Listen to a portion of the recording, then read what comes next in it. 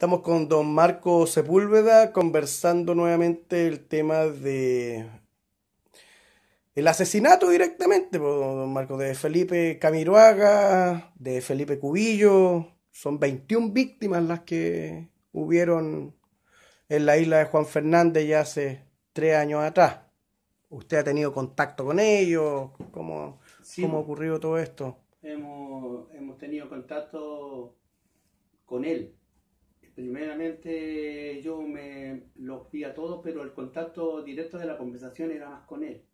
De un principio, que ellos quieren descansar. En primera instancia comenzó todo, todo el trabajo fue hecho de esa manera para que ellos descansaran.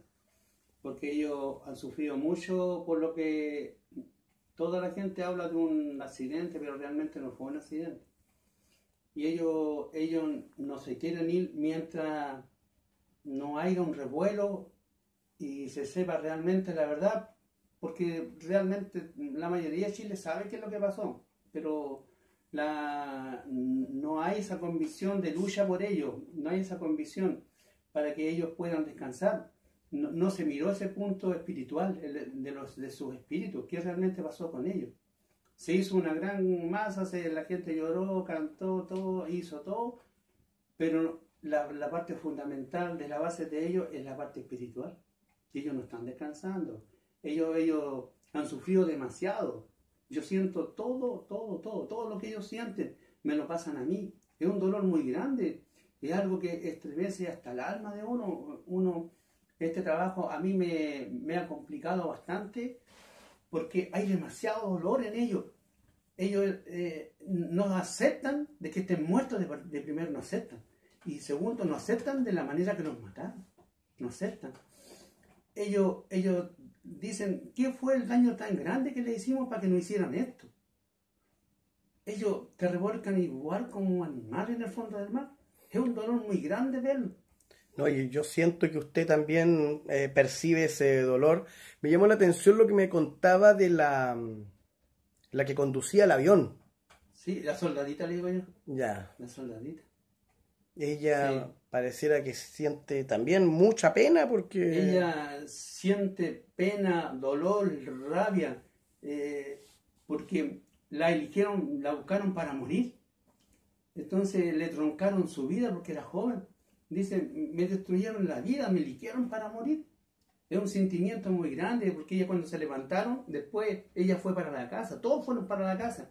Sobre todo ella fue la que más sufrió, la que más gritó, se revolcaba en la pieza. Era un dolor, era un dolor que no se podía soportar. Era muy grande verla cómo se revolcaba su espíritu, tocaba su ropa, sus cosas.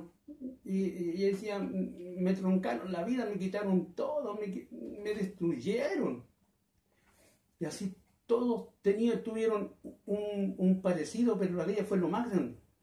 Igual que Felipe era cuando fuimos a, a Villa Alegre, al cementerio, también eh, fue algo muy fuerte, fuerte. Él, no, quería, no quería creer de que él, eh, bueno, lo que estaba ahí, que le da él, que como era un dolor que se movía así para los árboles, para allá, para acá, gritaba, se revolcaba de dolor.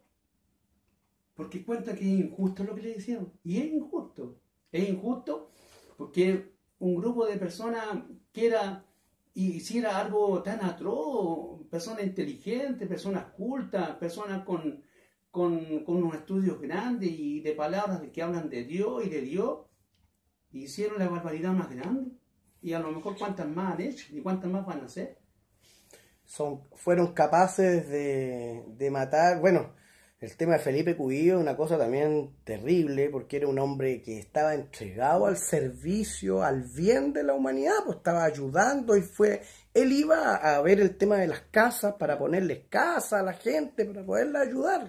Y lo otro, el sentir de ellos, porque ellos siempre están aquí conmigo, ahora ya, están como estables aquí Y cuando vayamos a la tele y vayan a casa, decía, por eso nos mataron, por eso nos mataron. Y, y como que se arrancaban, se revolcaban, así. Nos mataron por eso, por la casa nos mataron. Y cuando en una tirada sale, sale Piñera en la tele y dice, ellos nos mataron, ellos nos mataron. Siempre dicen eso. Ellos nos mataron, ellos nos mataron. Es algo muy fuerte. para mí es más que un trabajo ya. Porque de aquí, en esto, no hay plata de por medio, no hay nada. No hay política de por medio, nada. Este caballero que vino, Dios lo puso para, para que yo termine este trabajo. Porque este trabajo ha sido demasiado duro, tanto como para ellos, como para buscar su descanso, como para mí, para tratar de ayudarlos para que descansen. Se han hecho muchas cosas. Se, se han ido a partes increíbles de Chile, para todas partes con cartas. Y aquí mucha gente que me escucha ahora, Mucha gente, mucha gente, en muchas partes de Chile yo llegué con carta a sus casas. Llegué con esto. Jesús, vida y luz. Felipe Camiroaga, 21 víctimas, isla de Juan Fernández. Ayúdenme, ayúdennos, ayúdennos a descansar. Eso es lo que ellos querían descansar y eso es lo que quieren es descansar. Y nosotros como chilenos estamos durmiendo, despertemos, ayudémonos a que se vayan a descansar una vez por todas. Si sabemos que justicia no va a haber, no va a haber justicia porque Piñera está dentro, está dentro de un, globo, un glomerado de los masones del mundo y es un hombre intocable. Nunca va a ser tocado. Pero por lo menos nosotros los chilenos levantemos, masifiquemos esto y en la manera que ellos puedan descansar, la manera que ellos van a descansar. Es una buena manera que nosotros, todos los chilenos, hablemos del tema. Mientras más hablemos, más ellos van a descansar y va a llegar el momento que ellos van a descansar y se van a ir. Los demás se lo dejamos a Dios. Dios tarda, pero no olvida. Y al final todos los vamos a morir de una u otra manera. Aquí tenemos que ser valientes en esto, tenemos que ser valientes y luchemos. Luchemos así como, como cuando ellos murieron. Toda la gente fue. ¿Y por qué no ahora? Porque ahora ellos van a descansar para siempre. Porque ellos no están descansando. Se cantaron canciones, se, se han hecho canciones, todo. La gente ha hablado. Pero ellos no están descansando. Pero quieren descansar pero también quieren un poquito de justicia, aunque sea un poco.